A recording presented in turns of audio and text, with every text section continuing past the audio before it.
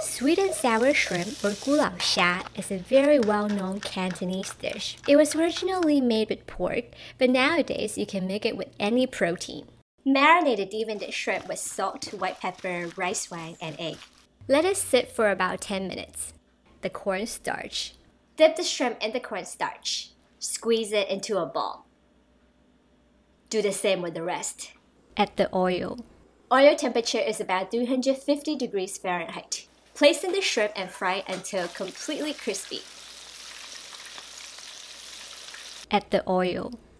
Add onion, green bell pepper, red bell pepper, pineapple, and garlic.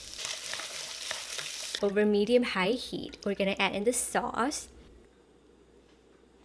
Stir until it is thickened. Transfer back the shrimp and vegetables. Please subscribe, follow, and like, and I will see you again soon.